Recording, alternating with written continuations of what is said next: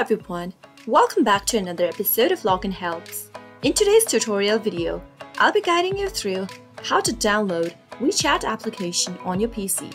Keep watching the video till the end to learn how and don't forget to subscribe to our channel if you've not yet. Press the bell icon so that you'll never miss another update from us.